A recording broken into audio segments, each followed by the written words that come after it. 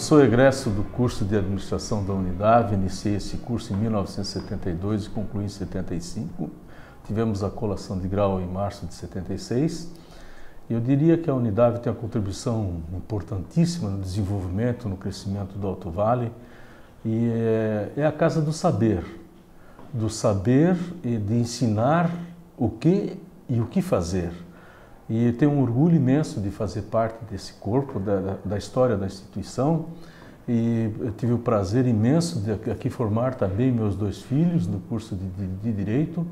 A minha esposa veio mais tarde também concluir o curso de Psicologia, entendendo que a unidade ela tem uma qualidade incomparável. Mesmo sendo uma instituição do interior, ela tem um compromisso muito grande, tanto na formação profissional quanto na formação cidadã das pessoas e uh, propicia assim o compartilhamento desse saber em todo em todo o nosso Alto Vale do Itajaí. No transcorrer dessa história, tive a satisfação imensa de ser convidado a ser coordenador do curso de administração em 2008. Posteriormente, fui convidado a ser vice-reitor e também acumulando a função de pró-reitor de administração com a preocupação máxima em zelar pela instituição nas suas instalações físicas. A unidade ela é composta por laboratórios de ponta, eu diria, em todos os cursos para o exercício da prática. E as instalações elas são exemplares se nós compararmos com as demais instituições.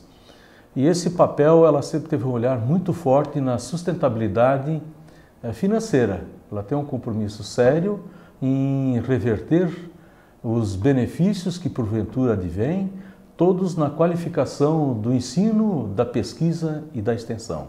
Eu tenho orgulho imenso de, de ser unidaviano, eh, justamente por ela ser a pioneira aqui no Alto Vale, nós fazemos parte praticamente da, de grande parte da vida da instituição.